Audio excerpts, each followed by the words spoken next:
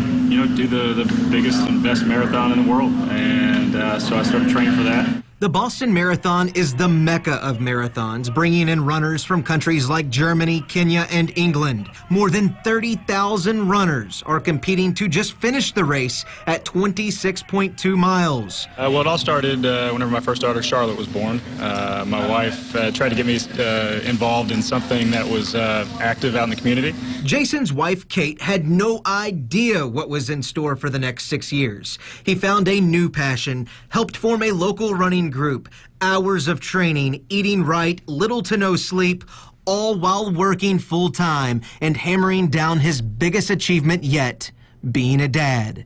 You know, my wife, uh, it, it, it takes a lot on her part because we do have three children. So she has to step her game up from that standpoint uh, to allow me, you know, the extra time to do the training. But that goal tugs at Jason's heartstrings. In 2013, the Boston bombing rocked the city. Now with the slogan Boston Strong, not only was Jason not scared of what was to come, but it motivates him.